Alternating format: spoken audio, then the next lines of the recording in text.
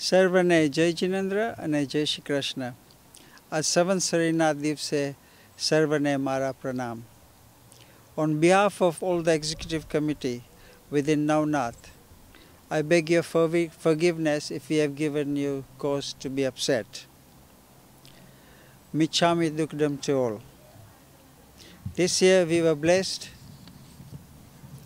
with the presence of Sadhvi Shilapiji Maharaj whose lectures were extremely interesting and easily understood by all. We had record numbers attending who benefited by in-house cooked lunch, dinner and tea at Navnat Center. And we hope you will join us for the music-filled Navratri nights.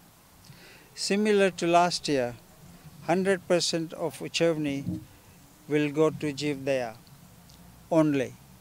This means that the money cannot be used on pollution expenses or Janmashtami Mela or for Darpan printing or for the general expenses of running Navnat Center.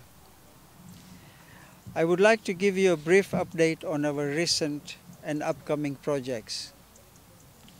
Continuing on our eco theme, we are now producing hot water by the use of air source heat pumps.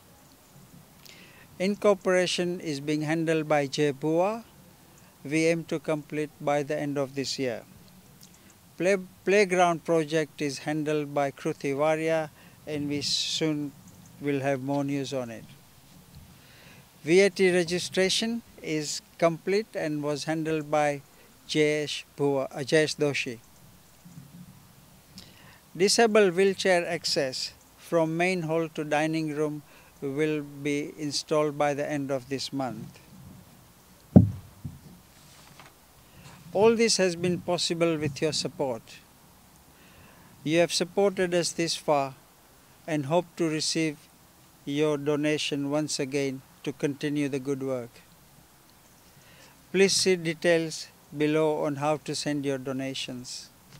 Sarvane Jai Jinendra, Jai Shri Krishna and Michami Tukdam to all.